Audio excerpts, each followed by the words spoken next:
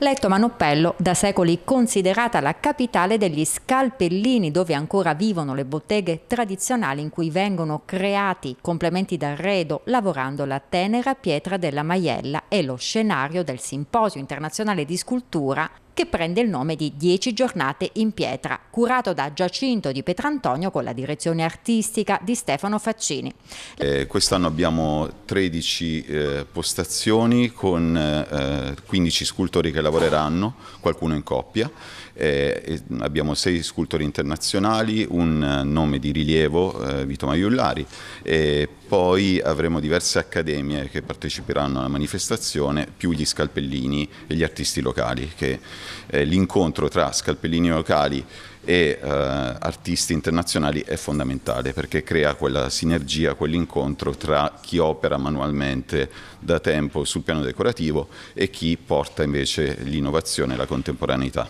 La manifestazione che animerà come di consueto le vie del centro storico dal 28 luglio al 6 agosto vedrà artisti, studenti delle Accademie di Belle Arti e scalpellini attivi nel realizzare nuovi petrales, ovvero grandi bassorilievi che saranno poi applicati in modo permanente sulle pareti delle case dei cittadini di Letto Manoppello. Giunta la terza edizione, le 15 opere di quest'anno andranno ad aggiungersi alle altre 30 già installate negli anni precedenti. Eh, le 10 giornate in pietra vanno a chiudere un'attività annuale che insomma, ecco, si sviluppa nel, sul nostro territorio. Eh, stiamo cercando di chiudere e concludere questo percorso importante che sono i Pietrales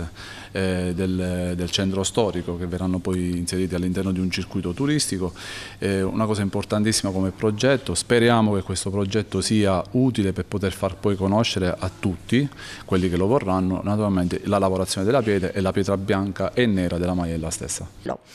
L'evento è finanziato dalla Regione Abruzzo ed è patrocinato da HSPA e dal Parco Nazionale della Maiella.